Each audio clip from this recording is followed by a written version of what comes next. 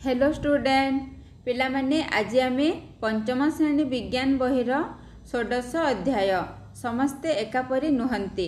ପାଠଟିର part ଟୁଟି ଆଲୋଚନା କରିବା।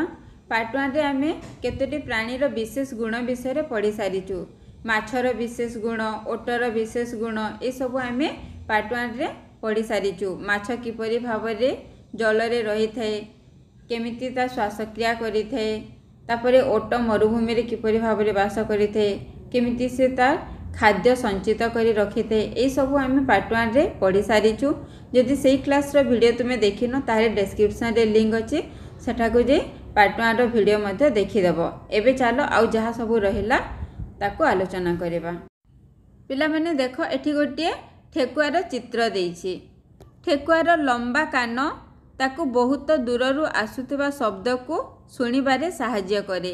ଠେକୁଆର ଲମ୍ବା କାନ ଯୋଗୁଁ ସେ କ'ଣ କରିଥାଏ? ବହୁତ ଦୂରରୁ କିଛି ଶବ୍ଦ ଶୁଣାଗଲେ ମଧ୍ୟ ସେ ଶୁଣିପାରେ ତାର ସେଇ ଲମ୍ବା କାନ ସାହାଯ୍ୟରେ। ତେବେ କହିଲ ଦେଖି ଠେକୁଆ କିପରି ଶତ୍ରୁ କବଲରୁ ନିଜକୁ ରକ୍ଷା କରେ? ଠେକୁଆ ତାର ସେଇ ଲମ୍ବା କାନ ସାହାଯ୍ୟରେ ନିଜକୁ ଶତ୍ରୁ କବଲରୁ ରକ୍ଷା କରିଥାଏ। ମାଙ୍କଡ଼ ଡାଲରୁ ଡାଲ ଡେଇଁ ଫଳମୂଳ ଖାଉଥିବାର ଦେଖିଥିବ। ମାଙ୍କଡ଼ମାନେ ଗୋଟିଏ ଡାଲରୁ ଆଉ ଗୋଟିଏ ଡାଲକୁ କିପରି ଭାବରେ ଡେଇଁଥାନ୍ତି ତୁମେ ଦେଖିଥିବ? ସେମାନେ ଗୋଟିଏ ଡାଲରୁ ଆଉ ଗୋଟିଏ ଡାଲକୁ ଡେଇଁଥାନ୍ତି ଏବଂ ଫଳମୂଳ ଖାଇଥାନ୍ତି। ତାର ପଛ ଗୋଡ଼ ଦୁଇଟି ଅଧିକ ଲମ୍ବା ହୋଇଥିବାରୁ ସେ ଡାଲରୁ ଡାଲକୁ ସୁବିଧାରେ ଡେଇଁପାରେ। ମାଙ୍କଡ଼ମାନଙ୍କର ପଛ ଗୋଡ଼ ଦୁଇଟି ଅଧିକ ଲମ୍ବା ହୋଇଥାଏ।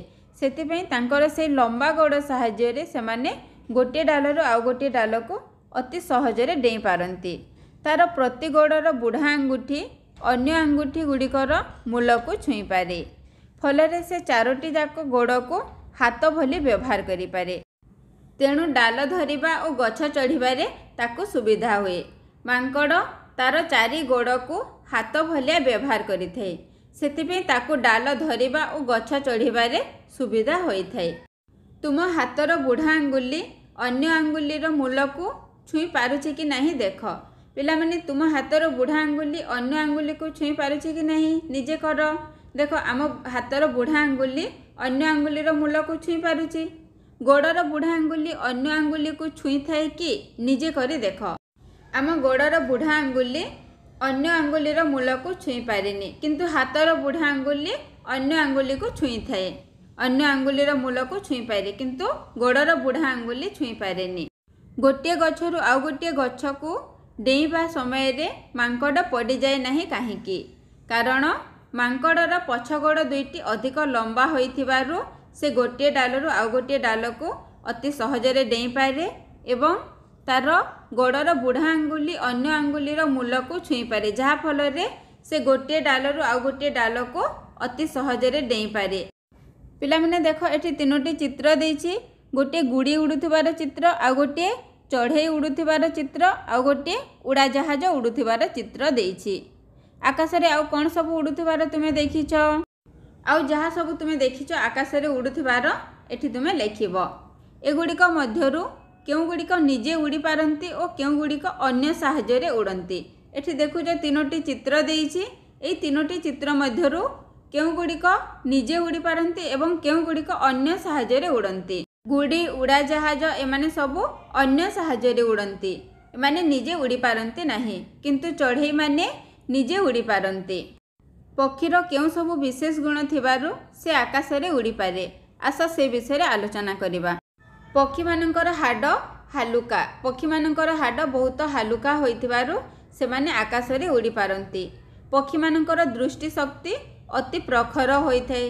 ପକ୍ଷୀମାନଙ୍କର ଡେଣା ଓ ପର ଉଡ଼ିବାରେ ସହାୟକ ହୁଏ। ପକ୍ଷୀମାନଙ୍କର ଯେଉଁ ଡେଣା ଓ ପର ଥାଏ ସେମାନେ ସେଇ ଡେଣା ଓ ପର ସାହାଯ୍ୟରେ ସହଜରେ ଆକାଶରେ ଉଡ଼ି ପାରନ୍ତି।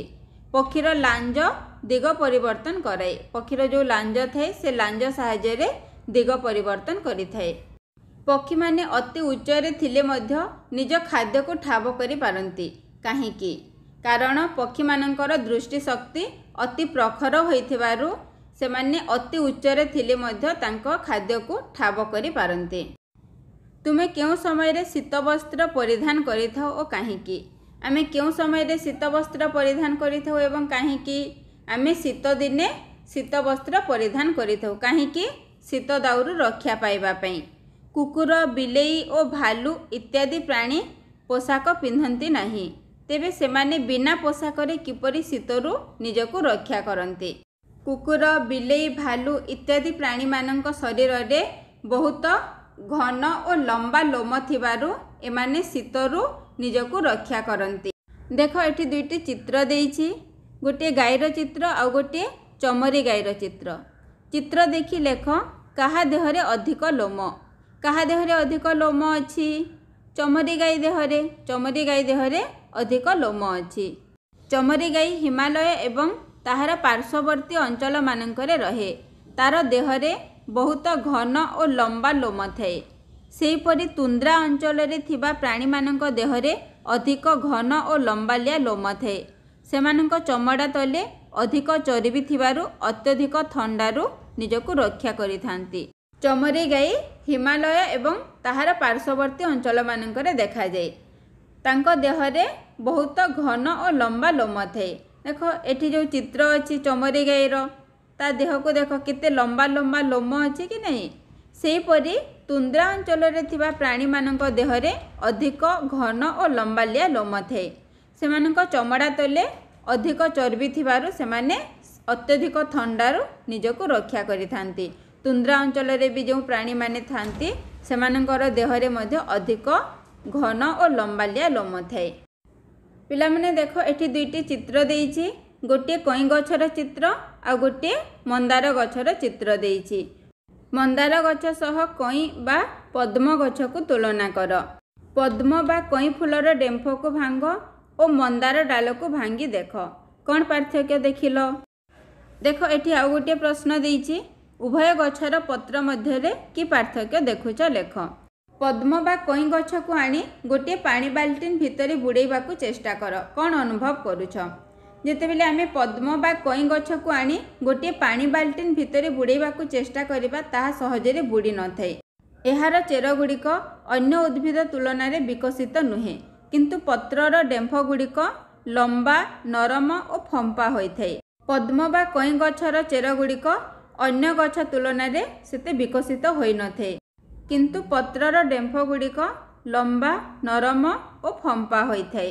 ପତ୍ରର ଉପର ପୃଷ୍ଠରେ ପତ୍ର ଛିଦ୍ର ବା ସ୍ତୋମ ରହିଥାଏ। ପତ୍ରର ଉପର ପୃଷ୍ଠରେ ପତ୍ର ଛିଦ୍ର ବା ପତ୍ରରେ ଛୋଟ ଛୋଟ କଣା ଥାଏ ବା ସ୍ତୋମ ରହିଥାଏ। ଫଳରେ ପତ୍ର ବାୟୁମଣ୍ଡଳରୁ ବାୟୁ ଗ୍ରହଣ କରିପାରେ। ଯାହାଫଳରେ ପତ୍ର କ'ଣ କରିଥାଏ? ବାୟୁମଣ୍ଡଳରୁ ବାୟୁ ଗ୍ରହଣ କରିପାରେ। ପତ୍ରର ଉପରି ଭାଗ ମହମ ଭଳି ତେଲିଆ ହୋଇଥିବାରୁ ସେଥିରେ ପାଣି ଲାଗି ରହେ ନାହିଁ। ପତ୍ରର ଉପରି ଭାଗ ମହମ ଭଳି ତେଲିଆ ହୋଇଥାଏ ସେଥିପାଇଁ ସେଥିରେ ପାଣି ଲାଗିକି ରହେ ନାହିଁ। ଦେଖ ଏଠି ଗୋଟିଏ ନାଗଫେଣି ଗଛ ଗୋଲାପ ଗଛ ଏବଂ କ୍ୟାକ୍ଟସ୍ ଗଛର ଚିତ୍ର ଦେଇଛି। ଦୁଇଟି ଯାକ ଚିତ୍ରରେ ଫୁଲ ପତ୍ର ଓ କାଣ୍ଡକୁ ଦର୍ଶାଅ। ଏହି ଦୁଇଟି ଯାକ ଗଛର ଚିତ୍ରରେ ତାଙ୍କର ଫୁଲ କାଣ୍ଡ ଓ ପତ୍ରକୁ ଦର୍ଶାଇବା ପାଇଁ କୁହାଯାଇଛି। ନାଗଫେଣି ପରି ଆଉ କେତୋଟି କଣ୍ଟା ଜାତୀୟ ଗଛର ନାମ ଲେଖ। ଯେମିତି ଏଠି ଗୋଟିଏ ନାଗଫେଣି ଗୋଟିଏ କଣ୍ଟା ଜାତୀୟ ଗଛ ଠିକ୍ ସେମିତି ଆଉ କେତୋଟି କଣ୍ଟା ଜାତୀୟ ଗଛର ନାମ ଲେଖ। ପିଲାମାନେ ତୁମେ ଆଉ କେଉଁ ସବୁ କଣ୍ଟା ଜାତୀୟ ଗଛ ଦେଖିଛ?